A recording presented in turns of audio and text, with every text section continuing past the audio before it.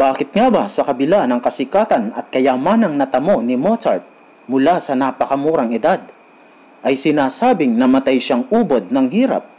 Iyan ang ating aalamin sa video na to. Pero kung bago ka pa lang sa ating channel, huwag mo munang kalimutang pindutin ang subscribe button, pati na ang kampana para ma-update kita sa ating mga bagong videos.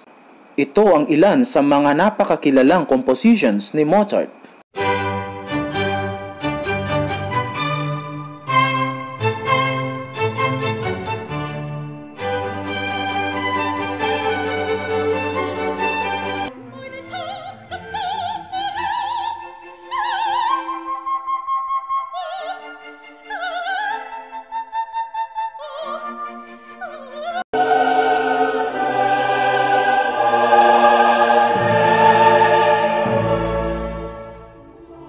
Si Wolfgang Amadeus Mozart ay isang child prodigy. Sa edad na limang taon ay nagkukompose na siya ng sariling musika sa gabay na rin ng kanyang ama na si Leopold Mozart. Dahil sa kanyang husay sa paglikha ng musika, sa napakabatang edad ay nalibot na niya ang buong Europa. Una na sa court of the Prince of Bavaria sa Munich noong 1762 at sa Imperial Court sa Vienna at sinundan ng mga concert tour sa Munich, Mannheim, Paris, London, The Hague, Zurich, Vienna, Salzburg, Austria, at marami pang iba. Nakasama rin niya ang marami pang mga great musicians at composers ng mga panahong yon tulad ni na Johann Sebastian Bach, George Frederick Handel, at Joseph Haydn. Napaka-prolific na composer ni Mozart. Nakapagsulat siya sa iba't ibang genres. Mahigit sa anim na raang piyesa ang kanyang nalikha gumawa siya ng mga piano concertos, operas, symphonies, string quartets, string quintets, solo pianos, chamber music, masses, at iba pang mga religious music, dances, at marami pang iba. Napakalawak ng impluensya ng musika ni Mozart. Maraming namangha at sumamba rito. Isa na nga sa mga ito ay si Beethoven, na itinuturing ding isa sa pinakadakilang kompositor sa lahat ng panahon. Sa edad na 26, nakilala at pinakasalan ni Mozart si Constance Weber sa kabila ng pagtutol ng kanyang ama. Nagkaanak sila ng anim pero dalawa lang ang nakasurvive sa pagkasanggol. Si Constance ay isa ring trained at talented na musician na nakatulong sa karir ni Mozart.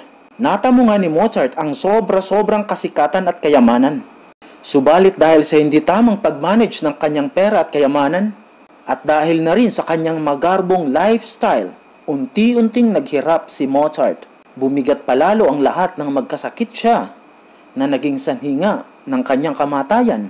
Ano nga ba ang kanyang naging sakit? Biglaan ang kanyang pagkamatay na sobrang nagpagulat sa kanyang pamilya at mga kaibigan. May mga teoryang lumabas sa sanhi ng kanyang pagkamatay. Ayon sa kanyang death record, Hitzig's Frizzle Fever o Severe Miliary Fever ang kanyang ikinamatay. Pero ayon sa mga scholar, mahirap daw itong patunayan dahil ang sakit na ito ay madadiagnose lang ng modern medicine. Ayon sa ilang theories, maaring trichinosis, mercury poisoning, at rheumatic fever ang kanyang ikinamatay. Ayon sa popular legend, namatay si Mozart na walang kapera-pera at baon sa utang at inilibing siya sa libingan para sa mga pulubi. Subalit ayon sa mga nakasurvive ng mga sulat niya, hindi ito totoo. Bago siya namatay ay may well-paid job pa rin si Mozart at nakakapag-komisyon pa rin sa ilang malalayong bahagi ng Europe.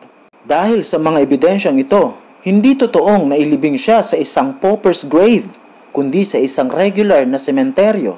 Sa konklusyon ng ating video, nais ko lang idagdag na sana maging malaking aral sa atin ang sinapit ni Mozart na kahit gaanong pera ang makukuha natin, ay mawawala rin kaagad kung hindi natin ito mamamanage ng maayos.